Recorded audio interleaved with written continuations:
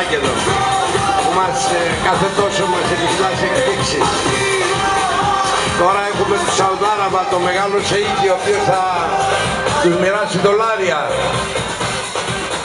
Εύχομαι συγχαρητήρια σε όλους κατά πρώτης. Δεύτερον, να περάσετε ωραία την ημέρα τη σημερινή γιατί αύριο από ό,τι φαίνεται ο καιρός θα μας τα χαλάσει. Καλή διασκέδαση και υγεία σε όλους. Να είστε όλοι καλά. Συγχαρητήρια Άγγελε.